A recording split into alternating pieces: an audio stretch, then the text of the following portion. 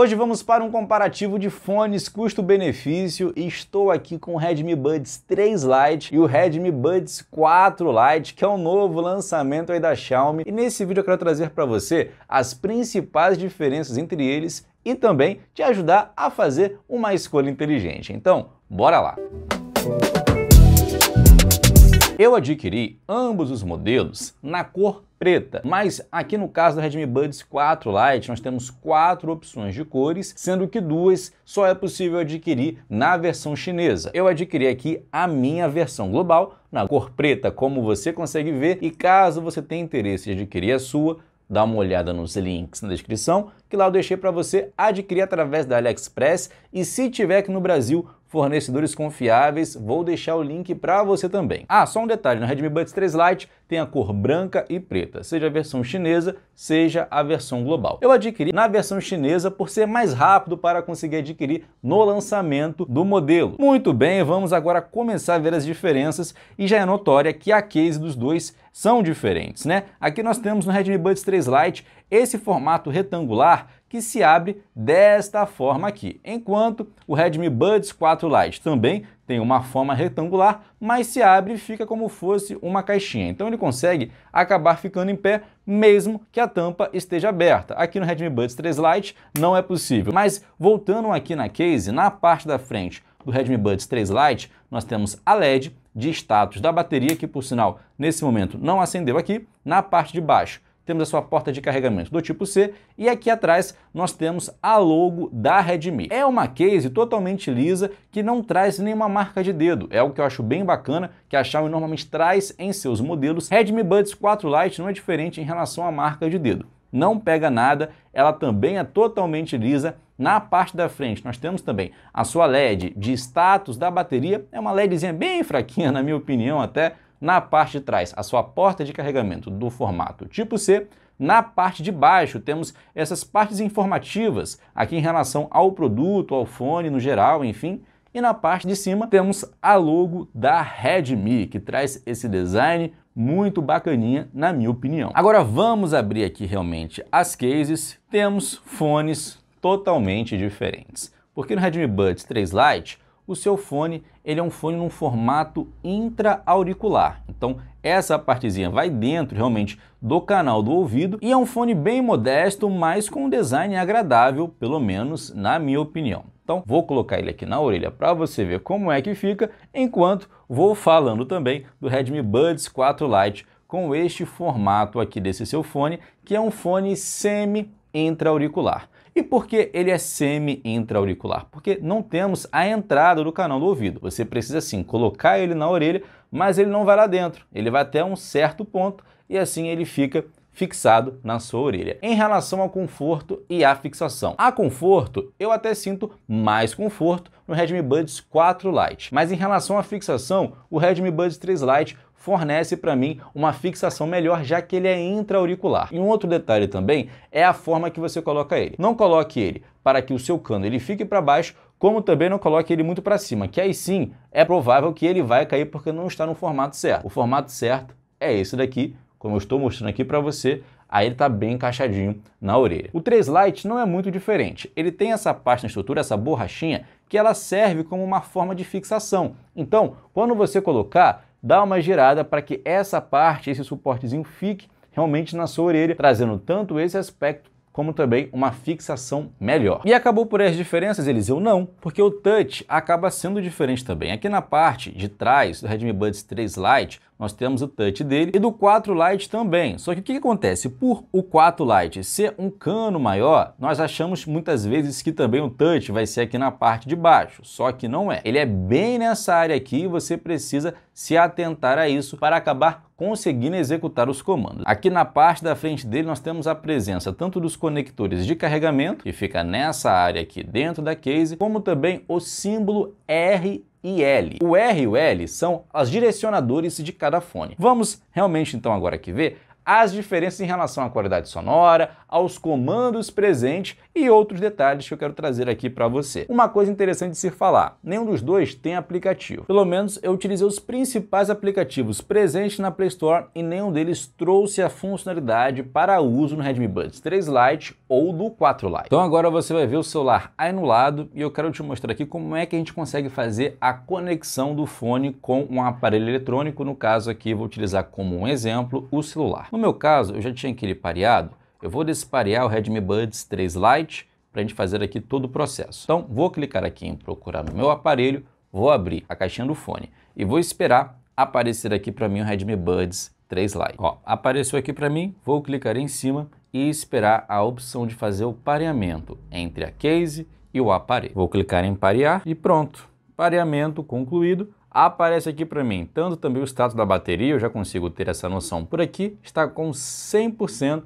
de bateria restante. Mas agora vamos começar a ver os comandos presentes em cada um. Já que eu estou aqui com o Redmi Buds 3 Lite, vou começar por ele. Para eu conseguir dar play e pause, é possível através do fone no sensor que nós temos bem aqui e é só eu pressionar 3 segundos e o pause acontece. Se eu pressionar 3 segundos novamente, o play ele acontece. Eu consigo por aqui também trocar a faixa, então no caso de um vídeo irá passar para outro vídeo, se fosse a música iria acontecer a mesma coisa. É só dar dois toques no touch aqui do fone. Independente do lado você consegue fazer, vou fazendo direito mesmo para você ver. Então dois toques, um, dois.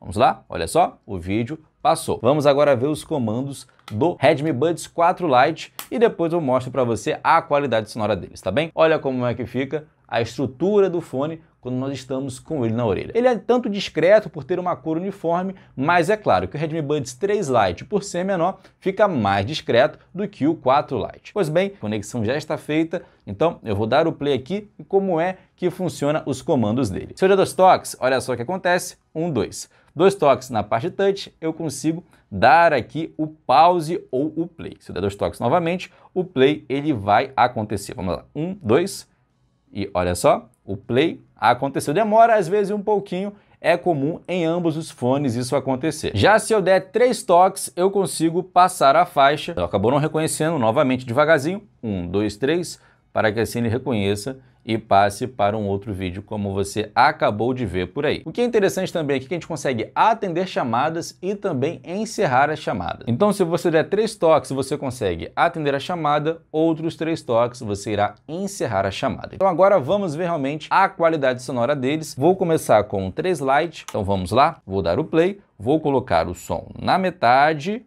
Olha só, o som na metade, para não distorcer muito, porque quando a gente coloca no máximo, tem uma distorçãozinha na qualidade voltar a música para o início e vamos lá.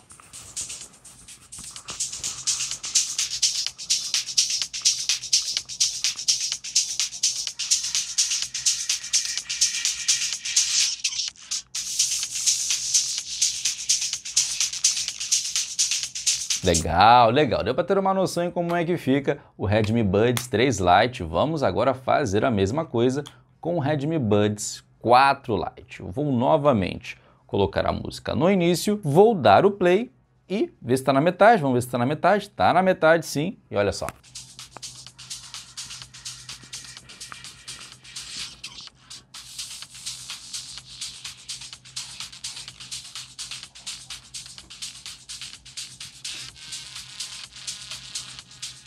Legal, legal. Acho que já ficou bem perceptível que o Redmi Buds 4 Lite ele é um tanto mais baixo do que o Redmi Buds 3 Lite. Até eu mesmo, que estou deixando os fones um pouco mais distante para pegar na área do microfone, consigo perceber que eu não consigo ouvir quase nada daqui do que eu consigo ouvir no 3 Lite. Então se você quer um fone mais alto entre os dois, o 3 Lite vai conseguir te conceder isso. Ah, Eliseu, eu não ligo para isso. Para mim, a qualidade sonora é o que mais conta, então eu imagino que você também consiga perceber que o 4 Lite tem uma qualidade sonora melhor. Pelo menos ele promete isso e eu consigo sentir isso também. Porque nós temos uma bobina de 10 milímetros aqui presente no 4 Lite, enquanto no 3 Lite é uma de 6 milímetros. Isso faz diferença principalmente em sons que tenham grave, tenha batida, você consegue ter maior notoriedade no 4 Lite do que no 3 Lite. Eu sei que pouca gente te conta isso, né? Fala a verdade. Se eu tô te ajudando até aqui com esse vídeo, deixa o seu like.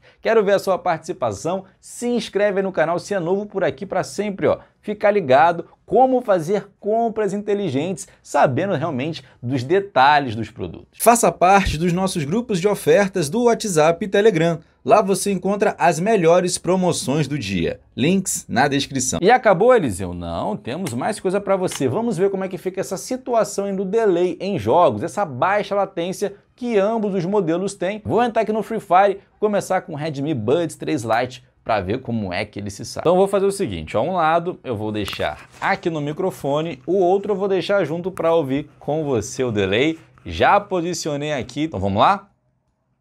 Olha aí o delay. Para mim Tá ótimo, tá bacana demais. Vamos ver o Redmi Buds 4 Lite. Então a mesma coisa agora eu vou fazer um lado do fone. Vou colocar no microfone, vou deixar até o volume mais alto, né, já que o Redmi Buds 4 Lite é um pouquinho mais baixo. Vou posicionar aqui no nada e vamos lá. E olha aí, ó. Bom demais. Olha só.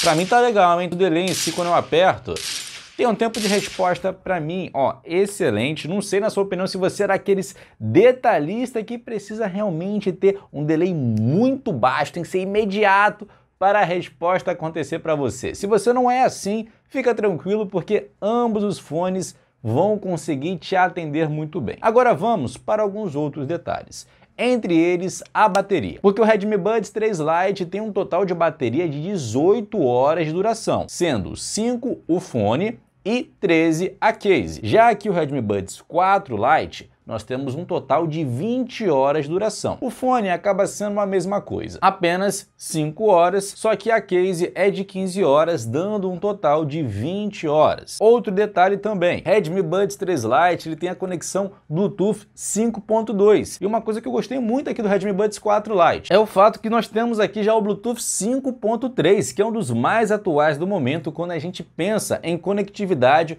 para aparelhos eletrônicos. Os dois também têm proteção resistência à água, só que é uma resistência bem de leve. É somente para caso de respingos. Se ocorrer respingos no fone, ele não será danificado. Por exemplo, numa corrida você acaba aí suando, não tem problema nenhum. Aquele suorzinho que pode acabar ficando na orelha não vai danificar o fone. Um outro detalhe também que é legal de se falar, o Redmi Buds 4 Lite o fonezinho dele é mais leve que o Redmi Buds 3 Lite. Nós temos aqui apenas 3,9 gramas, enquanto no Redmi Buds 3 Lite nós temos 4,2 gramas aproximadamente, então ele acaba sendo um pouco mais leve. Outro detalhe também para se dizer é o microfone. A diferença é gritante entre os dois. Redmi Buds 3 Lite deixa o som muito abafado, não importa o que a Xiaomi diga, essa é a verdade. Ele não é tão necessário, na verdade não é tão eficiente. Essa seria a palavra certa em relação ao seu microfone. Por ser intra-auricular e o seu microfone ficar aqui muito próximo da orelha e longe da boca,